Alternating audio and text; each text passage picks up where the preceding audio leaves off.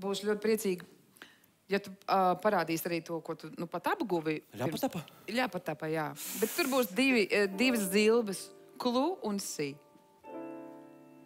Es parādīšu. Nu, klusi tādā ziņā. Tādā ziņā, ka klusījā. Tas ir vārds sadalīts pusēm. Pagaidi, es atspēršu durvis, tā klusi, klusi.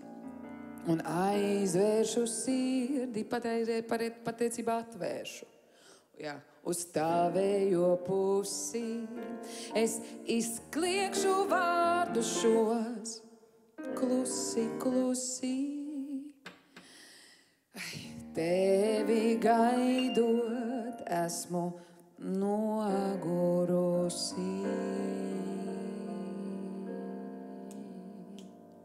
Es putīšu trompetēs, narcisēs klusī, dzeltenu sauli, kas nav norietējusi.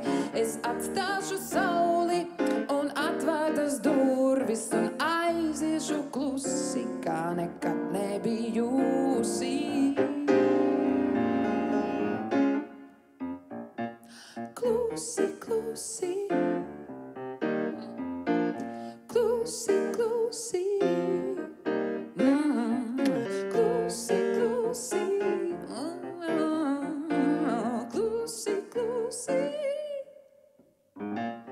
Es pūtīšu trompetēs, narcisēs klusi, dzeltenu sauli, kas nav norietējusi.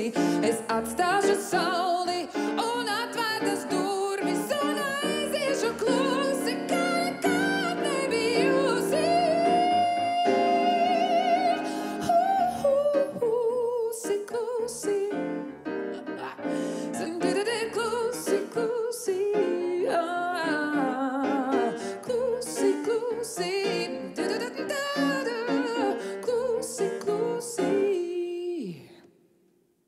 Es neizskatīšu un neizskatīšu, es pati kā lietus līšu, un tevi nosalušu zemi ar maigām tecēm sasildīšu.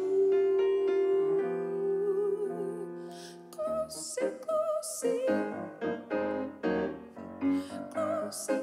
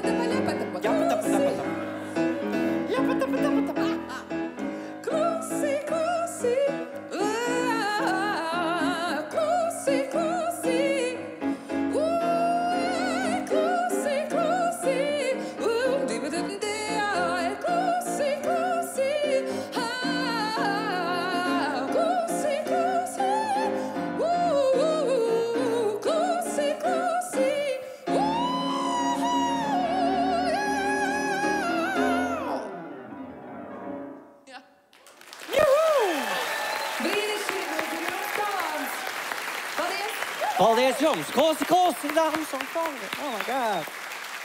Bravo!